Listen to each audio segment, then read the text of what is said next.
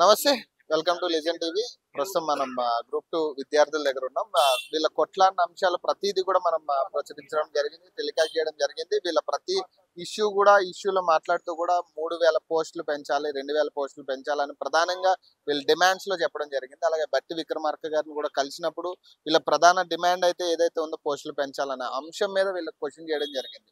కానీ అప్పుడు ఏదైతే పోస్ట్ పోన్ అంశాన్ని ముందు పెట్టి ఈ పోస్టులు అనేది ఆ, అలాగే పెంచకుండా పక్కన పెట్టిన పరిస్థితి. మరి ఈ రోజు వీళ్ళకి డిసెంబర్లో డేట్స్ ఎగ్జామ్ డేట్స్ కూడా ఖరారు చేయడం జరిగింది. అలాగే హాల్ టికెట్ డౌన్లోడ్ చేసుకోవాలని కూడా చెప్పడం జరిగింది. ప్రస్తుతం మాట్లాడే ప్రయత్నం చేద్దాం. నమస్తే. ఫైనల్లీ మీరు కొట్లాడిన దానికి న్యాయం అయితే జరగలేదని నా ఉద్దేశం. మీరు ఏం చెప్తారు? న్యాయం జరగలేదు. జరగదని కూడా నమ్మకం ఉంది. ఆ రోజు బట్టి గారు ఏమన్నాడంటే అసెంబ్లీ జరుగుతున్నప్పుడు మేము చేస్తున్న ధర్నం ఉధృతంగా జరుగుతున్నప్పుడు ఆయన సెక్రటరేట్కి పిలిపించుకున్నారు. దానికన్నా ముందు కోట నీలిమ గారితో వాళ్ళన్న మల్లు రవి గారితో ఇంకా పోతే ఇంకా చిన్న చిన్న అందరితోటి ఆ కొత్తగా ఎమ్మెల్యే అయినటువంటి కిరణ్ కుమార్ రెడ్డి చామలతోటి ఇంకా అందరితోటి ఇక కాంగ్రెస్ వాళ్ళందరూ ఎట్లొచ్చిర్రంటే ఎద్దుకు పుండు అయితే కాకులకు పండుగ అన్నట్టు మీ లొల్లి చేస్తుంటే దీన్ని ఏదో సెట్ చేసి ముఖ్యమంత్రి దగ్గర మార్కులు కొట్టాలి ఏదో కొన్ని మంత్రి బెర్తులో ఇంకేదో బెర్తులో కొట్టుకోవాలి లేకుంటే వాళ్ళకు ఉన్నటువంటి కమిషన్ పనులు చేపించుకోవాలని వచ్చినట్టు కనిపించింది ఆ రోజు సాక్షాత్ సెక్రటరేట్లో ఆయన మీరు పోస్టులు పెంచకుండా పోస్ట్ పోన్ అడుగుతున్నారు. ఆ, అన్నట్టు మాట్లాడిండు. మేమేమన్నా మీరు చెప్పేది చాలా తప్పుగా చేస్తున్నారు. మేము పోస్టులు అడిగితే మీరు ఖాళీ పోస్ట్ పోనే చేస్తున్నారు. మహేందర్ రెడ్డికి మా ముంగట పోస్ట్ పోను గురించి మాట్లాడారు. పోస్టులు పెంచాలి మాకు ఈ పోస్ట్ పోన్ గురించి అసలే వద్దంటే లేదు లేదు. ఇది ఎలాంటి చర్య అంటే మనం చేయాల్సింది పోస్టులు పెంచేది ప్రభుత్వం చేసేది. టీజీపీఎస్ చేసేది డేట్లు పొడిగించేది. కాబట్టి మహేందర్ రెడ్డి గారు కాడ ఇంకా డిసెంబర్లో ఏమైనా వేకెన్సీస్ ఉన్నాయేమో చేస్తాయని అన్నాడు. అక్కడికి అయిపోయింది. ఖచ్చితంగా నా మీద విశ్వాసం ఉంచండి అన్నారు. కానీ మీ విశ్వాసం ఉంచి బయటకు వచ్చి వాళ్ళ మాటకు విలువనిచ్చి ప్రెస్ మీట్ పెట్టి ఖచ్చితంగా కాంగ్రెస్ వాళ్ళు పోస్టులు పెంచుతారు. ఉప ముఖ్యమంత్రి గారు అన్నారు అని చెప్తే దానికి ఎట్లనంటే ఇంకా వీళ్ళందరూ ఇరుకొచ్చిర్రు ఆ రోజు. ఎట్లా ఆవు రావు అనుకుంటా ఎట్లా ఇప్పుడు పాలిచ్చే బెర్రకాడ దూడని వదిలిపెడితే దుడ్డ ఉరుకుద్ది చూడు బెర్రకాడికి ఉరికొచ్చినట్టు అందరు ఉరికొచ్చిర్రు. ఆ రోజు బలరాం నాయక్ గారు ఉరికొచ్చిర్రు. ఆ రోజు మల్లురావు గారు వచ్చిర్రు. ఆ రోజు ఎంపీ అనిల్ గారు వచ్చిర్రు. ఆ రోజు ఇంకా అందరూ నాయకులు అందరూ వచ్చిర్రు. ఇంకా ఎన్ఎస్సీఏ వాళ్ళు యూత్ కాంగ్రెస్ వాళ్ళు అందరూ వచ్చి ఇంకా ఆడ ఒకళ్ళ మీద ఒకళ్ళ మీద పడి తాగినోని మీద పడతారు బతుకమ్మ పండుగల కాడ బోనాల కాడ ఎగురుతుంటే. అట్లా వచ్చి ఒకరి మీద ఒకరి పడికి మేము నిరుద్యోగులకు మేలు చేసినాం అన్నట్టు ప్రెస్ మీట్ అడ్రస్ చేశారు. అవును. సరే వీళ్ళు ఇంత ఉత్సాహంగా ఉన్నారు కదా ఆ ఉత్సాహం మాకు కూడా అందిస్తారేమో ఆ ఉత్సవాలు జరుపుకునే అవకాశం వస్తుందేమో అనుకున్నాం. కానీ నిన్న తీర చూస్తే ఒక్క పోస్ట్ కూడా పెంచకుండా డేట్స్ డిసెంబర్లో ఇచ్చిర్రు. ఇది ఎంత దుర్మార్గమైన చర్య అంటే అంత దుర్మార్గమైన చర్య. బట్టి గారిని అడుగుతున్నాం. నువ్వు వన్ ఇస్ హండ్రెడ్ అని నిండు అసెంబ్లీలో మాట్లాడినావు. అది మాట తప్పినావు. ఈ రోజు సెక్రటరియట్లో నిరుద్యోగులతో చర్చలు జరిపిన క్రమంలో కూడా మీరు ఏమన్నారు? ఈ రోజు కూడా మీరు మేము పోస్టులు పెంచుతామని చెప్పేసి ఈ రోజు కూడా పోస్టులు పెంచకుండా ఒక్క పోస్ట్ పోన్ చేసిర్రు. ఆ రోజు జాబ్ క్యాలెండర్ ఇచ్చారు మాట తప్పిర్రు. అది అక్కడ మీ సంతకమే ఉంది ఇప్పుడు అసెంబ్లీలో ఖాళీలతోటి ఖాళీలు లేనటువంటి ఒట్టి ఉట్టి క్యాలెండర్ ఇచ్చిండు ఎల్ఐసి క్యాలెండర్ లెక్క.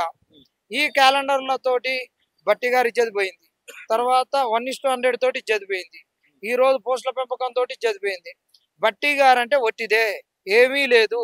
ఉట్టి బట్టి ఒట్టి మాటల బట్టి అంతే ఈయన. మరి అంటే మీరు కోర్టుకు కూడా పోయారు కదా మరి. అక్కడ అది- ఎట్లా ఉంది అది రెస్పాన్స్ కోర్టు అది గ్రూప్ వన్ గురించి. అది దీని గురించి కాదు. గ్రూప్ వన్ గురించి కోర్టులో తెలుసుకోవాల్సిన అంశాలు చాలా ఉన్నాయి. కోర్టులో తెలుసుకుంటాం కోర్టులో ఫైట్ చేస్తున్నాం.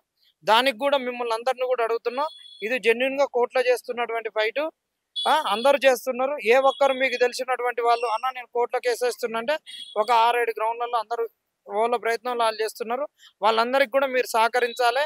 ఇది ఒక్కరు చేసేటటువంటి పోరాటం కాదు.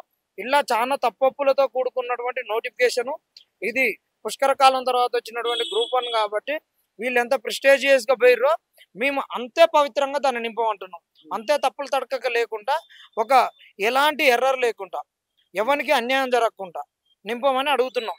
కానీ మీరు ఎంతైతే కొట్లాడిరో ఒకసారి పోస్ట్ పోన్ జరిగిన తర్వాత నుంచి కూడా కొంచెం చల్లబడినట్టే కనపడుతుంది కదా వాతావరణం. అంటే మీ నిరుద్యోగుల్లోనే కొంచెం ఇదైతే ఇప్పుడు ఇది ఒక- ఖచ్చితంగా చల్లబడాల్సిందే.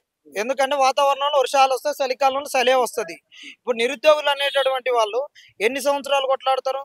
బీఆర్ఎస్ ప్రభుత్వంలో నోటిఫికేషన్ల గురించి నాలుగు సంవత్సరాలు కొట్లాడిర్రు. పేపర్ లీక్ అయినప్పుడు ఒక సంవత్సరం ఉధృతంగా కొట్లాడిర్రు. ఎక్కడ తగ్గకుండా రోజు రోజుకు ఆ ఉద్యమ ఉధృతిని పెంచుకుంటూ పోబట్టికే ఈ రోజు కాంగ్రెస్ అధికారంలోకి రాగలిగింది. కాంగ్రెస్కు ఊర్లలో జీరో గ్రాఫ్ ఉంటే దాన్ని ఎక్కడికి హండ్రెడ్ వరకు తీసుకొచ్చిన పీక్కు తీసుకుపోయినటువంటి వాళ్ళు నిరుద్యోగులు. ఇంకా ఇన్ని రోజులు కొట్లాడి కాంగ్రెస్ పార్టీ వచ్చినాక కూడా మాకు మేలు జరుగుద్ది అనుకున్నారు అది కూడా జరగకుండా కొట్లాడిర్రు. ఇక అలసిపోయిర్రు. ఇక అలసిపోయినప్పుడు ఇక అంతటి ఎంతకన్నా కొట్లాడతారు? ఈ ప్రతిపక్షాలు కూడా అండగా ఉండాలి కదా. ప్రతిపక్షాలు అన్నం తీసుకుంటేనే రాజకీయం చేస్తున్నాం అంటారు. వాళ్ళు వస్తున్నాయి మనం వస్తే రాజకీయం అంటారు. పాపం మనం పోకుండా ఉన్న పోరగాళ్ళకి న్యాయం దొరుకుతామని అలా అనుకుంటున్నారు. ఈ కాంగ్రెస్ వాళ్ళు ఏం ఆడు పెట్టాడు పెట్టేటోని పెట్టనియాడు. మరి ఎగ్జామ్స్ అయినా జెన్యున్గా జరిగితే మరి వీళ్ళు ఇచ్చిన డేట్లకి వీళ్ళు ఇచ్చిన టైంకి కి అంటే మొన్న డిఎస్సి జరిగింది. మళ్ళీ తర్వాత పేపర్ లీకేజ్ జరిగిందని పద్దెనిమిది ప్రశ్నలు సేమ్ ప్రశ్నలు వచ్చినాయని చెప్పి విన్నాము. మరి ఇది కూడా అంతే లోపాలు జరుగుతాయి మరి ఎట్లా? మేము అనేది అదే ఖచ్చితంగా ఈ రోజు గ్రూప్ వన్ మీద ఫైట్ చేసే అంశాలు కూడా అవే. నీకు ట్రాన్స్లేషన్లో తప్పులు అది గూగుల్ ట్రాన్స్లేషన్. అను అనువాదం కరెక్ట్ లేదు. నువ్వు కోర్టులో కేసు వేసినప్పుడు ఓన్లీ ఇంగ్లీష్ మీడియాన్ని ప్రామాణికంగా తీసుకుంటున్నాం. అలాంటి తప్పులు. తర్వాత క్వశ్చన్ ఫ్రేమింగ్లో తప్పులు ఆన్సర్లు ఇవ్వడంలో తప్పులు.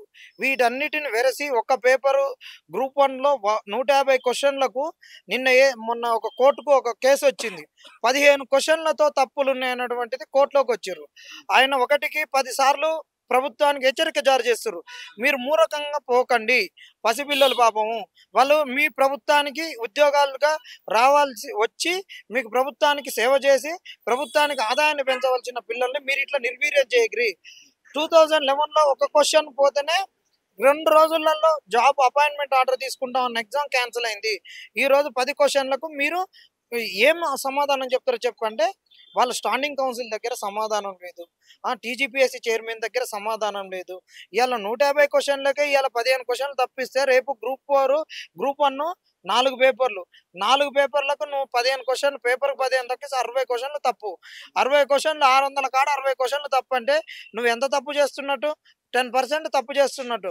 టెన్ పర్సెంట్ అంటే నైన్ పర్సెంట్ ప్రకారం నీకు ఎగ్జామే రద్దు కావాలి. ఇలాంటి మీ టెక్నికల్ ఇష్యూస్ మాట్లాడితే వీడు ఎగ్జామ్ కానియడు చేయనీయడు అంటాడు. మేము ఇప్పటికైనా నిరుద్యోగులకు ఏం కోరుతున్నాం అంటే ఆతృత పడకండి. ఆవేశ పడకండి ఇగో దీపం ఉన్నప్పుడు ఇల్లు సగ్గదిద్దుకోవాలి గ్రూప్ వన్ ఎట్లాగో తప్పుల తడకగా చేసిర్రు. అక్కడనన్నా స్క్రూ ఫిట్ చేస్తే ఇక్కడనన్నా గట్టిగా అవుతుంది ఇప్పటికైనా నిరుద్యోగులు ఏం చేయాలంటే మీరు కాంగ్రెస్ వాళ్ళు వేసే పిచ్చానికో కాంగ్రెస్ వాళ్ళు వేసే మోసేతి నీళ్ళకో ఆవేశపడి తాగి ఆవేశపడేటోళ్ళు కొంతమంది ఉంటారు వాళ్ళందరినీ గబ్బు లేపకండి. నిజంగా చదువుకునేటోనికి ఆ ఆవేదన తెలుసు. ఎందుకంటే గతంలో నిజంగా చదువుకున్న వాళ్ళే two thousand sixteen group one group టూను రెండు వేల ఇరవై వరకు లాక్కొచ్చిర్రు. ఎవరైతే కొట్లాడిరో వాళ్ళందరికీ కూడా మన గ్రూప్ టూ ఉద్యోగాలు వచ్చినాయి. ఎందుకంటే జెన్యునిటీ ఉన్నాడే కొట్లాడిండు. ఇలా నిజంగా చదువుకున్నోనికి నిజంగా ప్రజల బాధ తెలిసినోనికి నిజంగా బేదరికాన్ని అనుభవించేటోనికి నిజంగా అన్ని సామాజిక వివక్షలు అనుభవించేటోనికి ఆ బాధ ఏందో తెలుసుద్ది. ఆ బాధపడేటోన్ని మీరు మంచిగా బలిసి ఏసీలలో కూర్చొని అమ్మాయిలు పంపించిన పైసలో లేకుంటే కాంగ్రెస్ వాడు ఇచ్చిన పైసలో ఇంకొకటి ఇచ్చిన పైసలతో ఏసీలలో కులికి గబ్బు నోరుతోటి మా కాడ ఫ్రీ డేటా ఉందని కానీ అడ్డగోలుగా కామెంట్లు పెడితే మాత్రం ఎవరిని సహించేదే లేదు. ఇంకొకటి మీరు అన్నదానికి మేము కరెక్ట్ చెప్తున్నాం. ఇక్కడ నిరుద్యోగుల్లో అందరూ కూడా దాదాపు అందరు మంచిగానే ఉన్నారు. ఈ దొంగలు డబుల్ బాచీలు ఎక్కడి మనకు ఉత్తరప్రదేశ్ నుంచి రాజస్థాన్ నుంచి గుజరా గుజరాత్ నుంచి దొంగ అకౌంట్లతోటి దొంగ ఫేక్ మాట్లాడు. అరే నిరుద్యోగులు మళ్ళీ మోసపోయినట్టే. గతంలో మోసపోయారు మళ్ళీ మోసపోయినట్టుగా కాంగ్రెస్ నిరుద్యోగులు మోసపోయారు అనేటటువంటిది ఈ రోజు గ్రహించినటువంటిది కాదు.